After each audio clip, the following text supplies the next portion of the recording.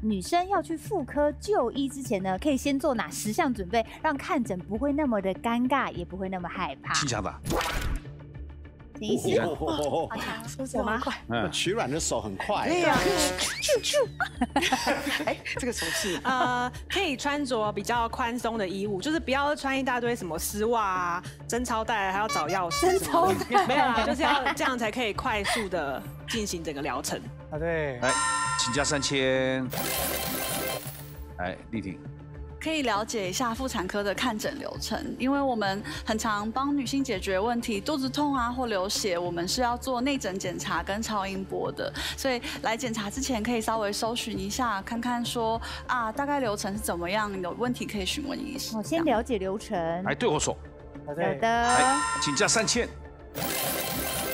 保人。法人其实师，我会建议整理好一下自己的病史或问题。我们常常遇到进来，他看到医生会慌掉，不敢讲，然后问的会答非所问，所以整理好问题或病史，我们比较好沟通，也比较快达到问一百题也。可以吗？我你这还好，我上次有个病人一百二十八题，啊，你看他他就录说我完，们医师好，他做的太好。他说陈医师，我知道你有说要整理，所以他写了十四项，每一项的后面大概七题，所以我算了一下，我说他他开始要跟我讲的时候，我说哦，你这整理得很好，我就要先去内诊台，我快速速读，我说你一百二十八个题目分类大概只剩七个题目，七个题目大概分一下，大概其实主要四个问题。哇不过他还是谢谢他整理好一百二十八项。对，好认真学可以出生。书哎。啊，对，来，请加三千。潜医师，沈医师。啊，那我们在就诊前偶尔会做很多检查，所以好比说啊，照 X 光啊，或者是进行一些检查前，可能要确认自己有没有怀孕的状况，然后告告诉我们现场的医护人员或者检查人员这个状况。那，对，来，请加三千。邱医师。啊，就是如果是来做例行性检查，像是子宫颈抹片筛检的话，那因为那个是要做一个癌前病变的筛检，所以如果是经期正在来的时候，那其实就会呃裁剪就会没有办法很清楚的确定。你说月经来的时候做这个很多不标准，都对，所以就会不避开准都会看到一些哦。红血球。所以你会跟他哦讲说，等你完了再来吗？没错，就是要建议赶紧的。对我手。啊，避开对，经期。来，请加三千。陈医师。呃，我觉得可以先上网稍微爬文一下，了解一下自己可能的疾病，然后有一个基础的概念。真的吗？用 Google 看病会每一个人都是李 N 都是癌症哎，是吗？Google 都会写的很严重啊。您的意思说是先了解自己有什么疾呃，病？就是可以稍微就是就是 screen 一下自己有可能是什么样的事情，然后有一点心理准备之后，然后再去就医。啊，对，请加的。三千。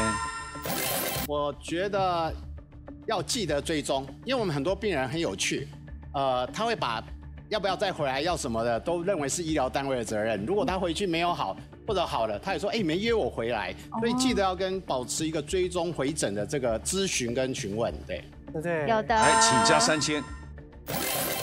我觉得应该是可以先请教有看诊过的朋友，或者是请朋友家人陪同来看诊，啊这样可能比较不会尴尬害怕。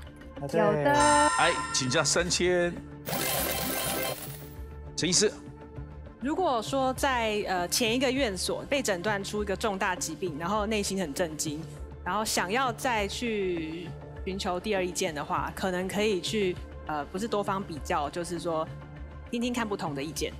有在里面。有，请加三。千。呃，其实我们刚刚有提到说，做这些准备可以让你比较不尴尬，比较不害怕，但其实也不要做太太多的准备。就是有健康杂志整理出，其实妇产科医生想告诉你的三件事情，但他不知道怎么跟你说。